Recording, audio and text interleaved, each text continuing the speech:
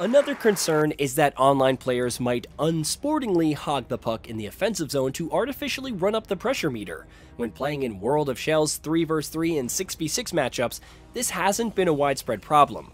A handful of attackers have skirted around the edge of the blue line, but the nefarious tactic is obvious and can be nullified with an aggressive defense, forcing them to maneuver the puck deeper into the offensive zone, thus presenting greater opportunity to steal the puck back. Speaking of World of Chel, this play mode of course returns in NHL 24 and for the most part, it's a carbon copy of previous iterations.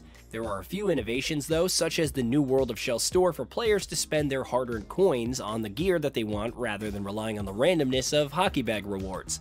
EASHL playoff games have been introduced too, with EA Sports Hockey League teams needing to win best of seven rounds to progress just like the Stanley Cup finals instead of the elimination format we've seen in previous years.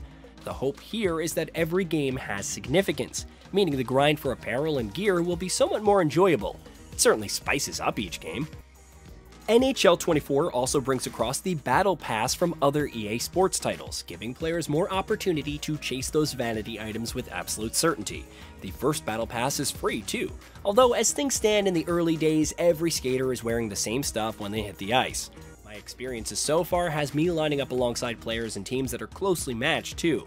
The only issue is that player stock is extremely low, even with NHL 24's enhanced crossplay capability. It oftentimes took upwards of 3 minutes to find enough players to fill each team, if a team was even filled at all before the matchmaking timed out.